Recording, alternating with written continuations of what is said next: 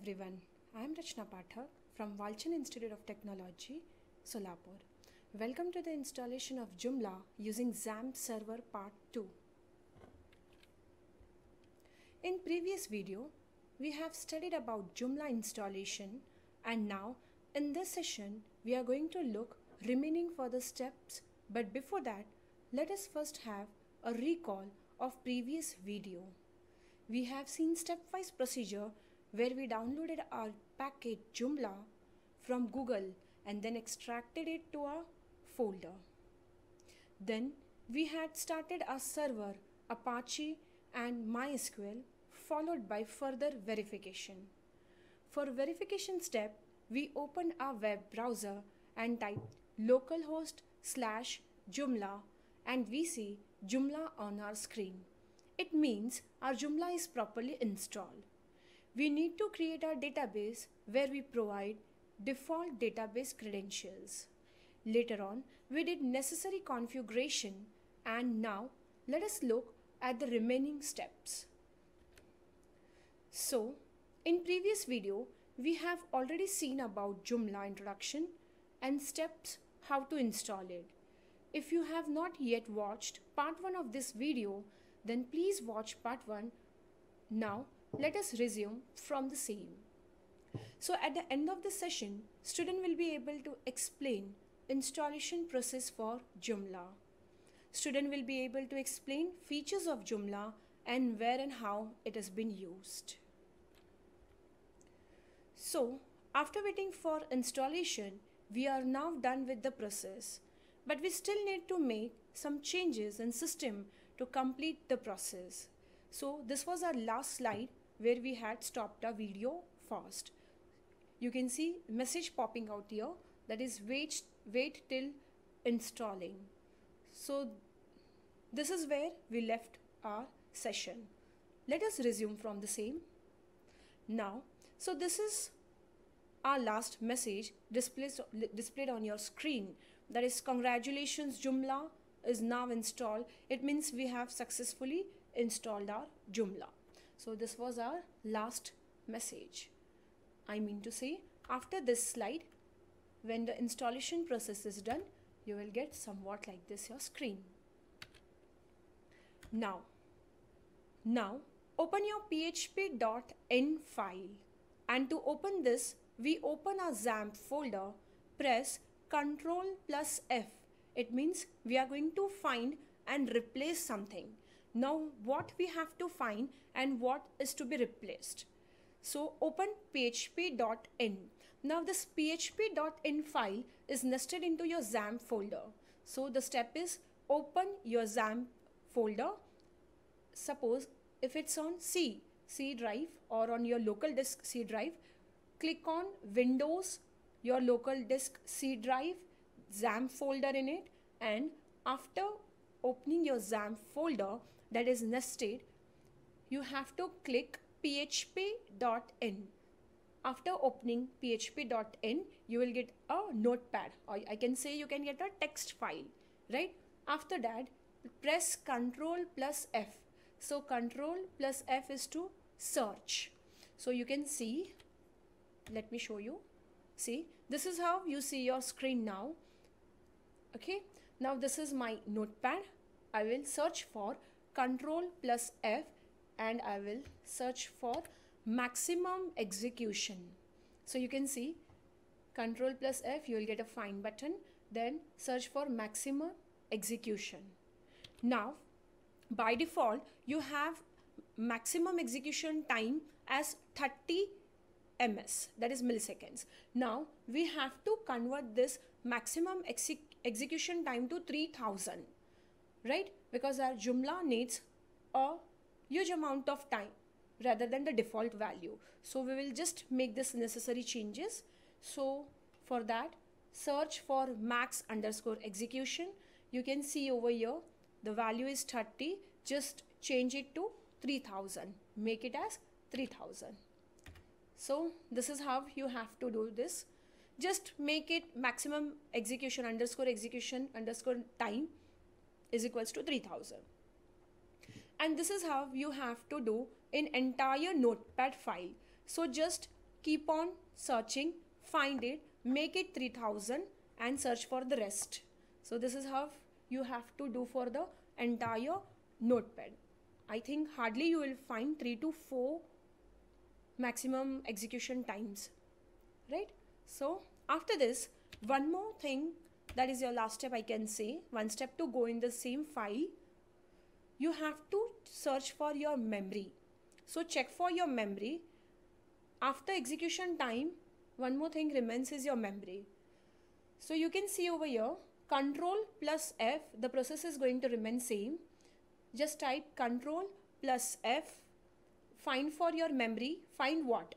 You have to enter memory so you will get maximum amount of memory a script may consume so this is changed to 128 MB so just change to 128 MB now save the necessary changes whatever you have done to your file and close the file. So just save the changes. I will click on file, save. That's it. Now you can close this file. Open your browser. Now you have to open your browser and type localhost slash Joomla again.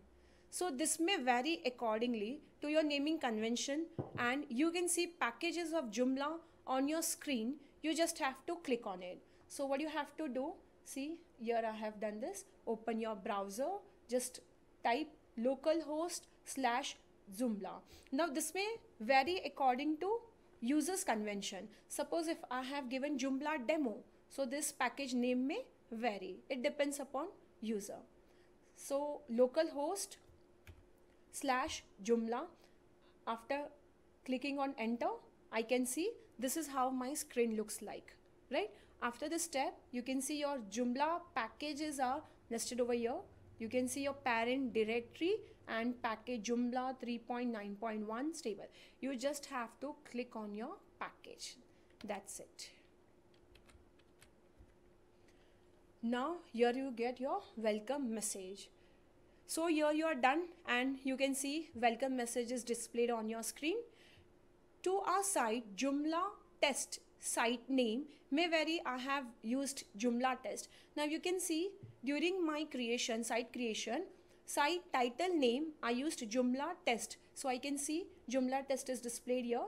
You can give anything, Joomla demo or any of your website name. Suppose if you are making for college, for your institute, you can give your college name, institute name or hospital name, whatever, for whatever purpose you are using your site. So this Joomla test is my site name. Now what you have to do in next step. Now if you want to open your admin panel, you just have to concatenate administrator at the end of your link as depicted by arrow just type administrator at the end of your URL address and just you get administration authority. So what you have to do just click on your you just have to click here right and concatenate your administrator. This will automatically redirect your page to admin panel. So open with concatenating administrator at the end of the link as depicted by arrow. This is one way and another way is you can just go on Google, click on Joomla admin panel. You will get a link over there. You can get many options. So click on official site of Joomla and you can log in with your admin panel. And this is the most easiest way when you're creating your Joomla. Already we are on the page, right? So now you can see how to log in with admin by entering username and password which we have provided during creation. So this is how you will get your admin panel. Now you have to just log in with admin by entering your username and password. So this is completely related to part 1 of this video. I have given my ID, password, credentials, whatever the things I have used during the video part 1 of this video creation, right?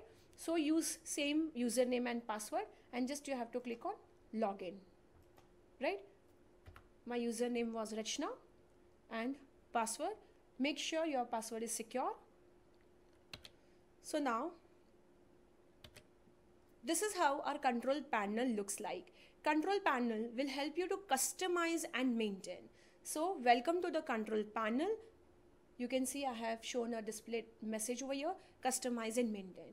Here you can add so many things. You can add article, see we can see over here new article articles. You can even categorize your sites right? You can give many categories subcategories. You can add media that is whatever video you like to upload you can up upload with the help of this media right? Presentations if you are using for educational purpose or any commercial purpose you can upload your presentations audios anything you like.